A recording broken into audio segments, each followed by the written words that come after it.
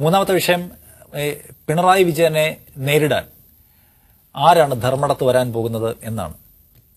രാജ്യവട്ട കുറേ പേരുടെ പേരുകൾ കേട്ടിരുന്നു. ഷമാ മുഹമ്മദിന്റെ അടക്കം പേര് കേട്ടിരുന്നു. അവരിപ്പോൾ കേരളത്തിൽ ക്യാമ്പ് ചെയ്യുന്നുണ്ട്. അവർക്ക് അവിടെ മത്സരിച്ചപ്പോൾ മതിയെന്ന് നേതൃത്വം അറിയിച്ചിട്ടുണ്ടെന്ന് പറയുന്നത്. വലിയ ഒരു ഒരു പിണറായി വിജയനെ നേരിടാൻ ആരെയാണ് യു ഡി എഫ് അവതരിപ്പിക്കുന്നുള്ള ഒരു ചോദ്യമാണുള്ളത് കാരണം ചെറിയ ആൾക്കാരെ അവതരിപ്പിക്കുന്നത് നന്നാവില്ല. അതോ ഈ ഇപ്പം ഏറ്റവും അവസാനം കേട്ട പേര് ഈ ഫോർവേഡ് ബ്ലോക്കിന്റെ ഈ- പേരാണ്. അതായിരിക്കും ഒരു നല്ല ഓപ്ഷൻ. അല്ല ധർമ്മടത്ത് ഇപ്പൊ ഏത് ഓപ്ഷൻ ആണെങ്കിലും ഒരേ എഫക്ട് തന്നെ ഉണ്ടാവുള്ളൂ. അവിടെ മത്സരിക്കുന്ന ഒരാളുടെ ഒരു ആഗ്രഹം എന്തായിരിക്കും? മുഖ്യമന്ത്രി പിണറായി വിജയനെതിരെ മത്സരിക്കുന്നത് കിട്ടുന്ന വിസിബിലിറ്റി ഉണ്ട്. സ്റ്റേറ്റ് വൈഡ് നാഷണൽ വൈഡ് ഒക്കെ കിട്ടുന്ന ഒരു വിസിബിലിറ്റി ഉണ്ട്. അത് മാത്രമേ അവിടെ ഒരു ഒരു ഘടകമായിട്ടുള്ളൂ. അല്ലാതെ ഇപ്പോൾ ധർമ്മടത്ത് പോയി മത്സരിച്ച് പിണറായി വിജയനെ തോൽപ്പിച്ച് ഒരു അട്ടിമറി വിജയം ഉണ്ടാക്കാൻ പറ്റും എന്നൊന്നും ആരും പ്രതീക്ഷിക്കുന്നുണ്ടാവും എന്ന് ഞാൻ വിചാരിക്കുന്നില്ല. ഉമ്മൻചാണ്ടിക്കെതിരെ ജെക്സി തോമസ് മത്സരിച്ച് മത്സരിച്ച അതെ ആ വിസിബിലിറ്റി മാത്രമേ ഉള്ളൂ. പുതുപ്പള്ളിയിൽ ജെക്സി തോമസ് മത്സരിച്ചപ്പോൾ എന്ത് വിസിബിലിറ്റിയാണോ ജെക്സി തോമസിന് കിട്ടിയത്? അതുപോലത്തെ ഒരു വിസിബിലിറ്റി മാത്രമേ ഇവിടെയും കിട്ടാൻ ഞാൻ ചോദിക്കുന്നത് അതിനകത്ത് ഈ പറഞ്ഞ പ്രധാനികളായ ആളുകൾക്കെതിരെ ഇപ്പൊ പി കെ കുഞ്ഞാലിക്കുട്ടിക്കെതിരെ മത്സരിക്കുന്നത് അന്ന് സ്വതവേ ജൂനിയറായ വി പി സാനുവാണ്. നോക്കൂ ഇവിടെയാണ് പുതുപ്പള്ളിയിലാണെങ്കിലും ജൂനിയറായ ആളുകൾ. അങ്ങനെ ദുർബലരായ മനുഷ്യരെ ഞാനിപ്പോ ഇദ്ദേഹം ദുർബലനാണ് അദ്ദേഹം ഒരു ദേശീയ നേതാവാണ്.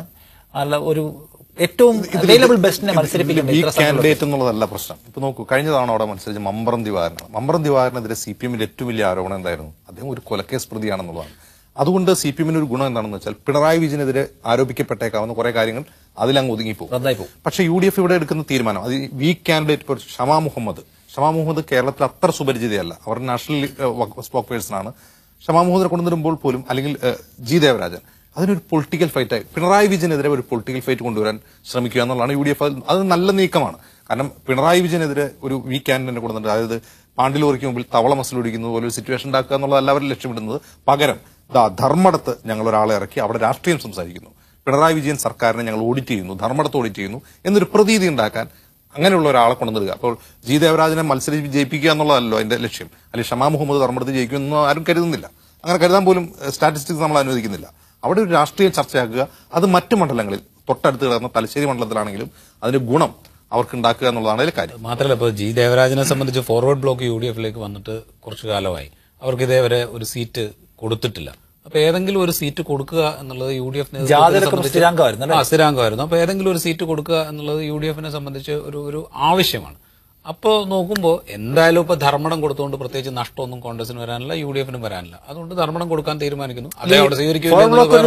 ലെഫ്റ്റ് പാർട്ടിയാണ് ദീർഘകാലം പശ്ചിമ ബംഗാളിൽ ഇവരുടെ ഫ്രണ്ടിലുണ്ടായിരുന്നതാണ് നാഷണൽ ലെവലിൽ ഇപ്പോഴും ലെഫ്റ്റിന്റെ കൂടെ നിൽക്കുന്ന പാർട്ടിയാണ് ഫോർവേഡ് ഇപ്പൊ ആർ എസ് പി അങ്ങനെയാണല്ലോ. ആർ എസ് പി അങ്ങനെ തന്നെയാണ്. അപ്പോൾ മാത്രമല്ല ഇപ്പോൾ ഒരു ഉദാഹരണം നമ്മൾ എടുത്തു കഴിഞ്ഞാൽ C P John. C M പിയുടെ സി പി ജോൺ പക്ഷേ സി പി ജോണിന് യു ഡി എഫ് കഴിഞ്ഞ തവണ കുന്നംകുളത്ത് മത്സരിപ്പിച്ചത് ജയിപ്പിക്കാൻ വേണ്ടിയിട്ടാണ്. അതായത് സി പി ജോണിനെ നിയമസഭയിൽ എത്തിക്കണം എന്ന തീരുമാനത്തിന്റെ അടിസ്ഥാനത്തിലാണ് കുന്നംകുളത്ത് കഴിഞ്ഞ തവണ മത്സരിപ്പിച്ചത്.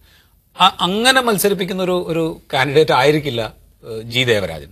ജി ദേവരാജൻ അത് സ്വീകരിക്കുകയാണ് ഇക്കുറി കുറെ കൂടി ഷുവർ സീറ്റ് കൊടുക്കും C P John C P John അതിന് സാധ്യതയുണ്ട്. കാരണം സി പി ജോൺ നിയമസഭയിൽ ഉണ്ടാവുക. സി പി ജോൺ ഒരു യു ഡി എഫിന്റെ നേതൃനിരയിലെ മുഖമാണ് അദ്ദേഹം നിയമസഭയിൽ ഉണ്ടാവുക എന്നുള്ളത് അത് യു ഡി എഫിന്റെ മൊത്തം ഒരു തീരുമാനത്തിന്റെ ഭാഗമായിട്ടാണ്. അതുപോലെ ആവില്ല ജി ദേവരാജന്റെ കാര്യത്തിൽ തീരുമാനമുണ്ടാവുക ജി ദേവരാജന് പിന്നെ ഫോർവേഡ് ബ്ലോക്കാണ് സ്വാതന്ത്ര്യകാല സ്വാതന്ത്ര്യത്തിന് മുമ്പേ മുതലുള്ള പാർട്ടിയാണ്. സുഭാഷ് ചന്ദ്രബോസിന്റെ പാർട്ടിയാണ്.